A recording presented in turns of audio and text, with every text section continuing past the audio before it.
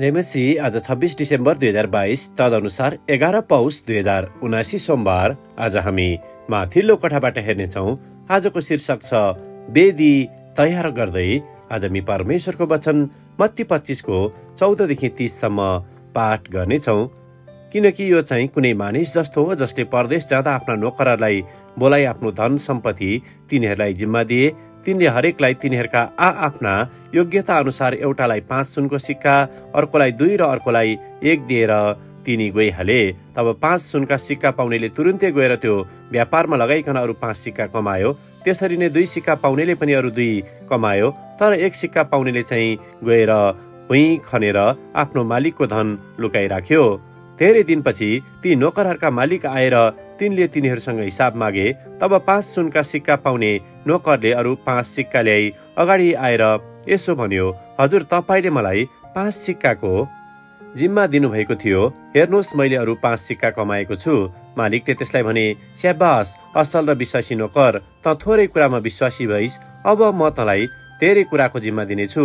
त आफ्ना मालिकको खुसीमा सहभागी हो। दुई सिक्का पाउनेले पनि आएर भन्यो हजुर तपाईँले मलाई दुई सिक्का दिनुभएको थियो। हेर्नुहोस् मैले अरू दुई सिक्का कमाएको छु। त्यसका मालिकले त्यसलाई भने स्याबास असल र विश्वासी नोकर त थोरै कुरामा विश्वासी भइस। अब म तँलाई धेरै कुराको जिम्मा दिनेछु। त आफ्ना मालिकको खुसीमा सहभागी हो। एक सुनको सिक्का पाउनेले पनि आएर भन्यो हजुर नरोपेको जग्गाबाट कठनी गर्ने र ननिफनेको ठाउँबाट बटुल्ने तपाईँ कठोर मानिस हुनुहुन्छ भन्ने मलाई थाहा थियो। यसैले मलाई डर लाग्यो र गएर तपाईँको सिक्का मैले माटो मुनि लुकाइराखेँ। हेर्नुहोस् यो तपाईँको सिक्का लिनुहोस्। त्यसका मालिकले त्यसलाई जवाफ दिए ए दुष्ट अल्छे नोकर नरोपेको ठाउँमा कटनी गर्छु र ननिफनेको ठाउँबाट बटुल्छु भनेर तैँले जानेको थिइस् भने तैँले मेरो धन साउका राख्नुपर्ने थियो र आएर मैले मेरो धन ब्याज समेत फिर्ता पाउने थिएँ। यसकारण त्यसबाट त्यो सिक्का खोस र जससँग दस सिक्का छ त्यसलाई दियो किनभने जससँग छ त्यसलाई अरू दिइनेछ र त्यससँग प्रशस्त हुनेछ तर जससँग छैन त्यससँग भएको पनि त्यसबाट खोसिनेछ। त्यस बेकाममा नोकरलाई चाहिँ बाहिरी अन्धकारमा फालिदियो जहाँ मानिसहरू रुनेछन् र दारा किट्नेछन् आमेन पहिलो पत्रुस चारको दसलाई लेखक यहाँ जोड दिनुहुन्छ। जसले जस्तो वरदान पाएको छ परमेश्वरका अनुग्रहका विभिन्न वरदान पाएका भण्डारे झैँ ती एक अर्काको निम्ति प्रयोग गर। आमेन लेखक आफ्नो अनुभव र विचारलाई यहाँ यसरी प्रस्तुत गर्नुहुन्छ। धेरै वर्षदेखि मेरो जिम्मेवारी भनेको बडो आनन्दका साथ आइतबार बिहानी आराधना सेवाको लागि मण्डलीको वेदी तयार गर्नु हो।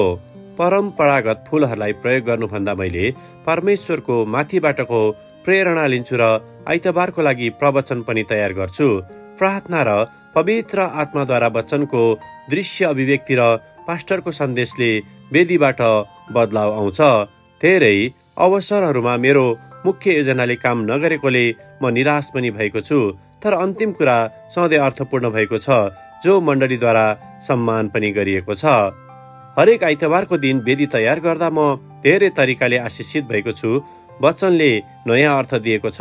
प्रवचनहरू जीवित भएर आएका छन् र साधारण कुराहरूको लागि पनि मैले उत्साह पाएको छु र धेरै अर्थपूर्ण प्रतीकहरू परिवर्तन भएका छन्। सधैँ मेरो आशा यो छ कि वेदीले थप अर्थपूर्ण आराधनाको अनुभव दिन सकोस्।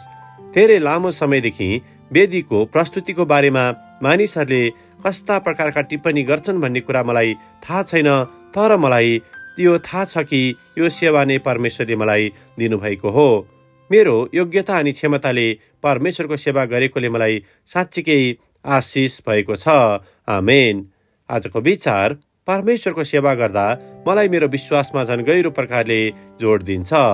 प्रार्थना उद्धार परमेश्वर तपाईँले दिनुभएको विशेष वरदानलाई पत्ता लगाउन र प्रयोग गर्न हामीलाई सहायता गर्नुहोस्।